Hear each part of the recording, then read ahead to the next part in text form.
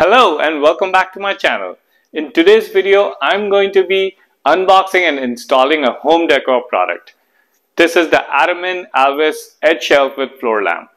The product retails on Amazon under $70, but this product is not on Prime, which means it could take a week or two to get this product. However, in my opinion, I don't think the wait is that bad. So let's not waste any more time. This is my first time installing the product, so let's go ahead and install it.